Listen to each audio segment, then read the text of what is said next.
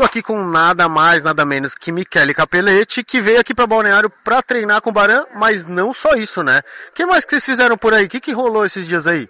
É, te falo a verdade, a maioria do tempo rolou treino, né? Porque era o primeiro treino juntos, meu e do André, esse, nesse 2024. As nossas mulheres também estão aqui, ele, elas passearam bastante, né? Para elas era a primeira vez aqui. A gente desfrutou essa oportunidade, né, de estar aqui para Balneário. Eu eu tô aqui no hotel aqui pertinho, né? Então, o nosso dia a dia, passamos muito tempo treinando aqui.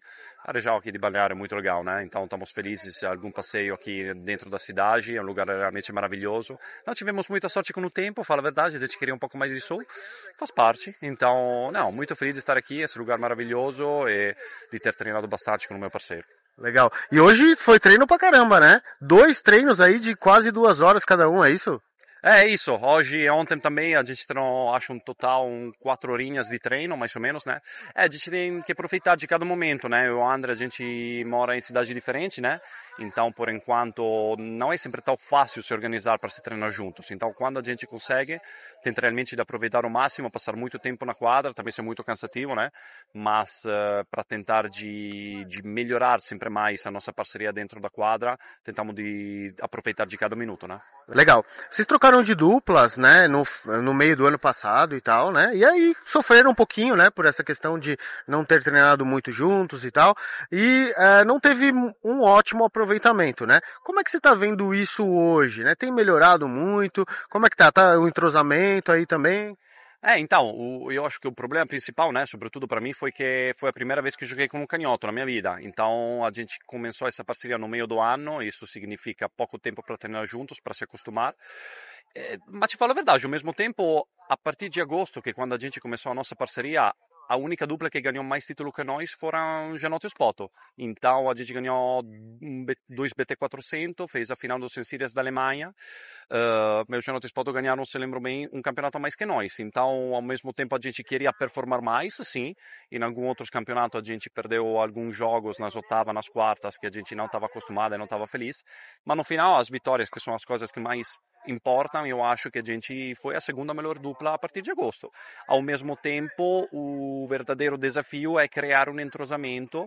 A gente sabia o ano passado que fechando essa parceria em agosto poderia ter, sabe, algum alto e baixos, faz parte, a gente tentou de evitar isso, mas ao mesmo tempo não pode controlar tudo. Então, eu acho que a coisa importante é que a gente acabou o ano com um ótimo último mês e meio último mês e meio, a partir de novembro, né, eh, com a Aruba, a gente deu uma ótima continuidade de resultados e de performance também. Então, isso foi importante porque a gente conseguiu treinar e jogar com um pouco mais de continuidade juntos e lá começaram a chegar os resultados. Então eu acho que ficamos positivos para 2024. A gente trabalha muito, então essa parte nunca vai faltar. E se a gente vai merecer, vai ganhar também. Essas outras duplas vão jogar mais que nós. Vamos ter que aceitar isso e parabenizar os adversários. Bom, se depender dos brasileiros, eu acho que vocês vão ganhar tudo. Aí você volta até ser top 1 daqui a pouco, né? Ah, não tenho dúvida sobre isso, né? O, o André, o Baran é o ídolo local aqui do país país, é, é, o melhor jogador brasileiro, ele merece muito isso, porque na verdade o André começou a jogar beach tennis faz pouco tempo, 6, 7 anos. Eu, eu, eu dobrei o tempo dele na quadra tennis, são já 15 anos que eu sou profissional, então não é fácil em assim pouco tempo conseguir já ser o número 3 do mundo. Eu tô aqui com ele porque quero tentar de ajudar ele com um grande objetivo que é se tornar pela primeira vez para ele número 1 um do mundo. Eu sei que é um objetivo que não é fácil.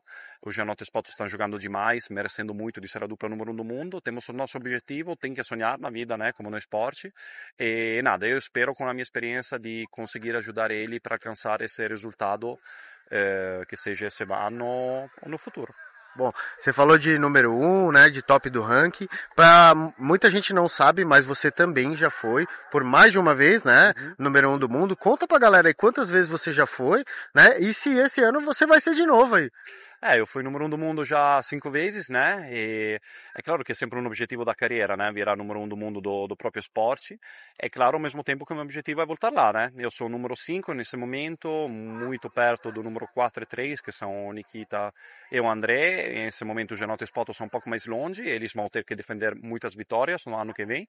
Então, né, eu fiquei número um do mundo até junho do ano passado e o objetivo é sempre o mesmo, é voltar lá, é conseguir sempre se confirmar no primeiro 10 do mundo, Eu acho que isso tem que ser a base de tudo, né? Nos últimos 15 anos sempre consegui ficar no primeiro 10 do mundo como ranking, que é uma grande satisfação também, mas o objetivo está lá. O objetivo é tentar de ser sempre o melhor e vamos trabalhar por isso esse 2024 também. Ótimo, e a gente vai torcer por você também, né, pelo, pelo Bahrein, enfim. Uh, vamos mudando um pouquinho de assunto, uh, você começou uh, no beach tênis há muito tempo, você teve alguém que foi sua inspiração ali, ninguém jogava muito mais tempo que você, né?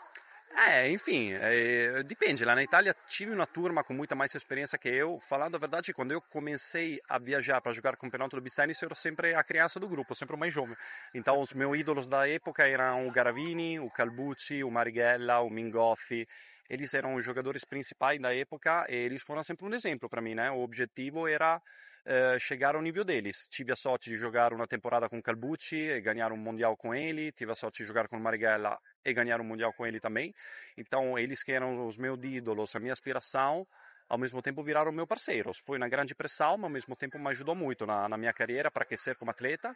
Agora, eu provavelmente fiquei como um dos últimos, né, dos, dos antigos do beach tennis que ainda está no primeiro 10 do mundo, né? Então isso é um motivo de satisfação. Ao mesmo tempo começo a entender infelizmente que não sou mais uma criança esse jogo. É. Ainda bem que começou faz tempo é, também para poder manter ainda, né? Até a ser um jogador de experiência, né? Tenho quase 32 anos, mas ao mesmo tempo me sinto fisicamente muito bem.